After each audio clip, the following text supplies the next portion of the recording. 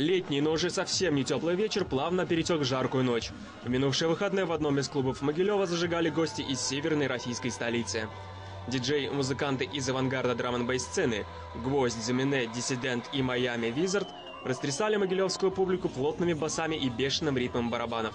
Пришедшие в полной мере смогли насладиться хитами и приобщиться к новым веяниям в драм н мире. Мне очень нравится сегодняшняя школа нового Deep Drum Bass, который как бы э, не является собой такой боевик, оголтелый, а все-таки как бы такое более размеренная, более воздушная и жирная музыка. То есть как бы это бейс мьюзик. То есть э, подача больше не на барабаны, а на бас, грубо говоря. Потому что... Замине – первая девушка-диджей, которая стала играть драм н бейс в Москве и Петербурге. Также она является одной из организаторов самой первой пиратской станции, крупнейшего драм н бейс фестиваля в мире. Ее сет был наполнен спокойными и романтическими мелодиями. Здесь очень сложно. Здесь приходится проявлять мужественность характера зачастую. И эм, как бы конкурировать с мужчинами на том же уровне. То есть, э, потому что драм публика, она более более уни, унисексуальна, я думаю, что люди не думают о разнице полов, скорее думают о музыке, о культуре, и поэтому не все девушки это выдерживают. С музыкой Зимине связалась довольно давно и началось все с панк-рока. Теперь же появились новые музыкальные пристрастия, нотки которых можно было услышать в сетах первой драм н бейс леди.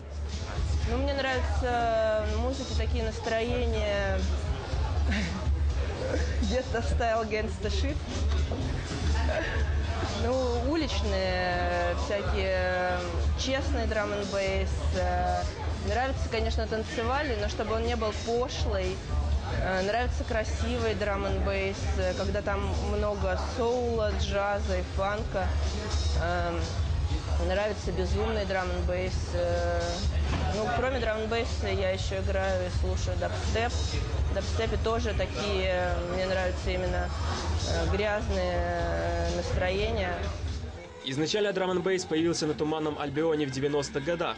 За короткий отрезок времени этот жанр электронной музыки набрал обороты и вырвался из андеграунда. Все это благодаря одной особенности.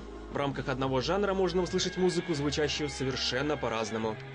Ну, я думаю, что драм н как и джаз, он э, может быть популярен или не популярен, но он никогда не станет попсой. Гвоздем же вечера был автор и ведущий радиошоу «Пиратская станция», а также один из основателей одноименного фестиваля Константин Нестеров, он же диджей «Гвоздь». Как человек, который постоянно находится в центре событий, он рассказал, каково же состояние драм н в нынешнее время. Музыку слышит большее количество людей, которые хотят эту музыку слышать. И за счет того, что они ходят на фестивали, соответственно, они прививают, ну, глубже, может быть, немножко глубже начинает эта музыка интересоваться постольку поскольку. То есть хотя бы потому, что слышат какие-то песни, которые их задевают, начинают узнавать, что за автор, там, как на, какое название трека, а там пошло-поехало. И глядишь, какая-то часть этих людей дойдет до того, что будет все, э, серьезно интересоваться именно музыкой, культурой, ну, неважно там даже, что будет слушать, именно относиться. Вот я занимаюсь лейблом «Респект», и, соответственно, лейбл плодоносит, и плодоносит. Очень много интересных музыкантов подписалось за последнее время. Э, в обозримом будущем ну, сам, самое ближайшее это наша пятая виниловая пластиночка, двух 12-дюймовый э, EP, сборник, состоящий из 8 треков, называется «Медитация в танце». Это как раз-таки 170 BPM электроника, это разные вкусные кусочки драм н бейса разные интересные биты.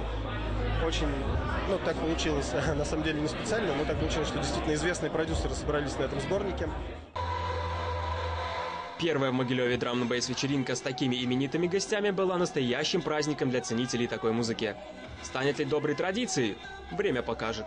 Йоу, Peace Massive, это диджей Гвоздь, вы смотрите утренний канал.